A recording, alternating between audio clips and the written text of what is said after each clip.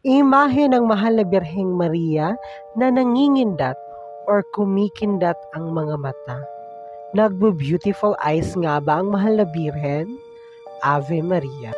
Ito nga po ang milagrosang imahe ng Nuestra Señora de los Dolores de Batong Paluay. Ito po isang maliit na bato na merong imahe ng mahal na Birheng Maria na pinaniniwalaan ding lumalaki. At kung minsan merong lumalabas na nunal sa may noo ng mahal na Birhen. At kumikindat pa nga raw ito. At sinasabi rin nga na pumunta ang mahal na Birhen sa Malacanang para humingi ng tulong sa First Lady Imelda Marcos para mapagawan siya ng isang kapilya.